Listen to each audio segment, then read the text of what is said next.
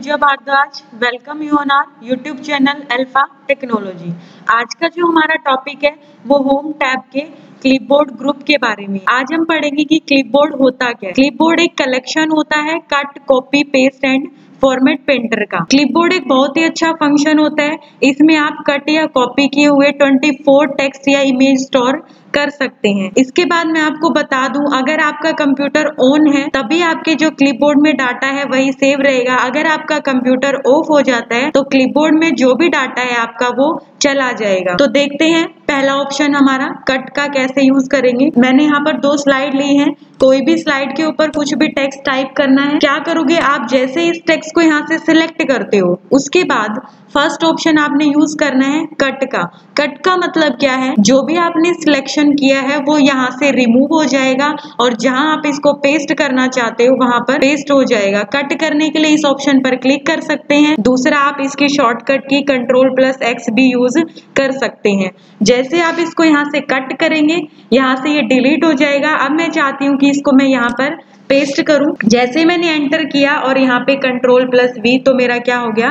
Clipboard जो मेरा option है, वहाँ से कट हो गया और मेरा यहाँ पर पेस्ट हो गया है। नेक्स्ट ऑप्शन आता है आपका इसी के अंदर कॉपी मान लो मैंने इस वर्ड को यहाँ से सिलेक्ट किया। सिलेक्ट करने के बाद मैं इसको क्या करती हूँ? कंट्रोल प्लस सी से कॉपी कर सकती हूँ या फिर हम इसका ऑप्शन ये वाला भी यहाँ से यूज़ कर सकते हैं। जैसे मैंने कंट्रोल प्लस सी किया, अब मैंने क्या कर दिया, इसको कॉपी कर दिया। अब मैं चाहती हूँ इसको यहाँ पर पेस्ट करना तो उसके लिए हम इस ऑप्शन का यूज़ करेंगे। अगर आप शॉर्टकट यूज़ करना चाहते हैं तो कंट्रोल प्लस वी से भी आप इसको यहाँ पर पेस्ट कर सकते हैं। अभी आपने क्या देखा?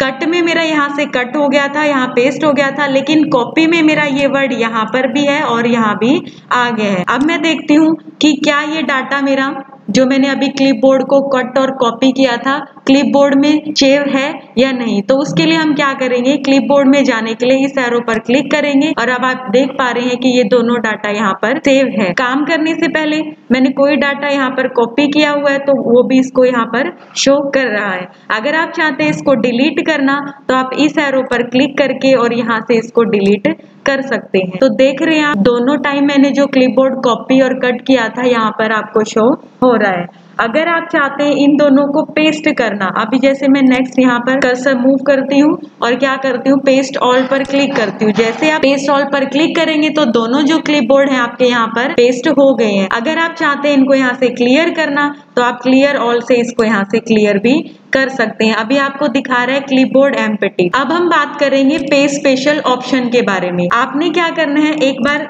मैं इस क्लिपबोर्ड को यहाँ से डिलीट कर देती हूँ। आपने इसको सिलेक्ट करना है। इसके ऊपर कोई फॉर्मेटिंग करनी है, जैसे बोल्ड इटैलिक या आप इसका यहाँ से कलर भी चेंज कर सकते हैं। अब आपने क्या करना है, इसको कॉपी करना है। कॉपी करने के बाद आपने इसको पेस्ट करने के लिए पेस्ट स्पेशल ऑप्शन में जाना है तो उसके लिए आप क्या करेंगे? इस एरो पर क्लिक करेंगे और यहाँ पर आपको फ़र्स्ट ऑप्शन मिलता है यूज़ डेस्टिनेशन थी मतलब आपको यहाँ पर पेस्ट करने का डेस्टिनेशन चाहिए, जहाँ पर भी आपका कर्सर होगा, वो आपका क्लिपबोर्ड जैसे हमने बाहर से किया था, वही काम आप अंदर से भी कर सकते हैं। नेक्स्ट ऑप्शन आता है कीप सोर्स फॉर्मेटिंग मतलब जिस टेक्स्ट को आपने, जिस फॉर्मेटिंग के साथ कॉपी किया था, उसी सोर्स को इसने यहाँ पर क्या कर दिया है? पेस्ट कर दिया है। नेक्स्ट आपका आता है पिक्चर जैसे आप पिक्चर पर क्लिक करेंगे तो जो आपने पेस्ट किया है, वो आपका एक पिक्चर के फॉर्मेट में आपको दिखाई देगा। आप इसको मूव भी करवा सकते हैं और देख पा रहे हैं कि जैसे आपने इसको पिक्चर फॉर्मेट में मूव किया है तो यहाँ पर पिक्चर का फॉर्मेट ऑन हो गया है। अगर आप चाहें इसके ऊपर कोई भी स्टाइल अप्लाई करना तो आप यहाँ से इसके स्टाइल को चेंज कर सकते हैं। नेक्स्ट ऑप्शन आता है आपका इसी के अंदर कीप टेक्स्ट ओनली इसका मतलब क्या है? आपने आपने जो भी टेक्स्ट कॉपी किया था कीप टेक्स्ट ओनली मतलब आपको यहाँ पर दिखा रहा है कि जहाँ पर मेरा कर्सर था, वहाँ पर इसने ओनली टेक्स्ट को पेस्ट कर दिया है। मतलब जितनी भी फॉर्मेटिंग थी, वो आपकी यहाँ से रिमूव हो गई है। नॉर्मल टेक्स्ट आपका पेस्ट हो गया है। इसके बाद नेक्स्ट ऑप्शन आता है। मैं नेक्स्ट स्लाइड पे आपको दिखा देती हूँ। यहाँ पर मैंने एक इमेज ली हुई है और कुछ टेक्स्ट टाइप किया हुआ है। आपने क्या करना है? टेक्स्ट कॉपी करना है। और इसके ऊपर जो फॉर्मेटिंग करना चाहो, यहाँ से आप कर सकते हो। इसके कलर को चेंज करना चाहो, यहाँ से इसके कलर को भी चेंज कर सकते हो। अब आपने क्या करना है? इस टेक्स्ट को यहाँ से सिलेक्ट करना है। सिलेक्ट करने के बाद आप क्या करेंगे? कॉपी कॉपी करने के बाद आपने पेज स्पेशल ऑप्शन में जाना है।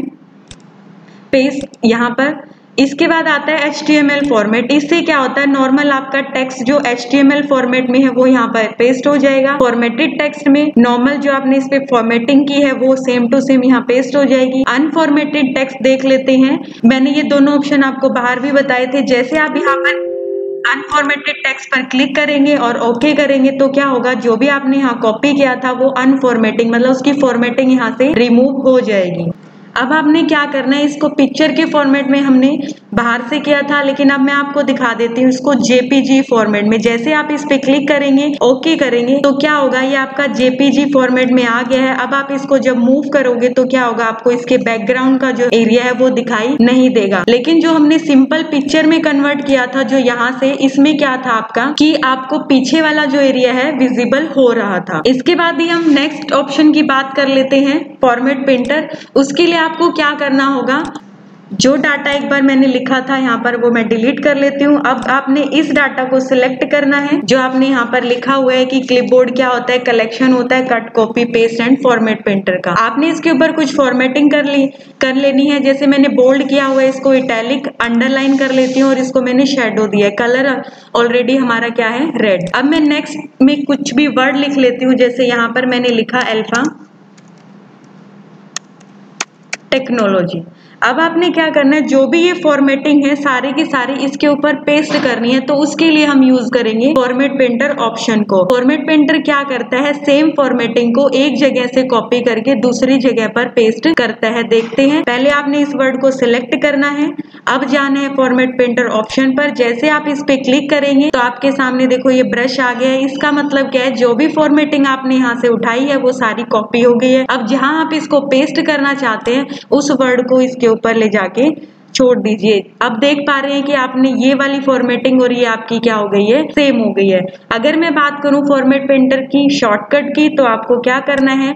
वर्ड को सिलेक्ट करना है। Control plus shift plus C press करेंगे कॉपी के लिए और अगर आपने पेस्ट करना है, उसके लिए आप control plus shift plus B से इसको पेस्ट कर सकते हैं। आई होप गाइज़ आपको सभी ऑप्शन क्लिपबोर्ड के जो मैंने बताए अच्छे से समझ में आए होंगे। अगर आपको समझ आया तो प्लीज़ वीडियो को लाइक एंड शेयर कीजिए चैनल को सब्सक्राइब कीजिए और नेक्स्ट वीडियो की नोटिफिकेशन के लिए बेल आइकन प्रेस करना ना भूले। Thank you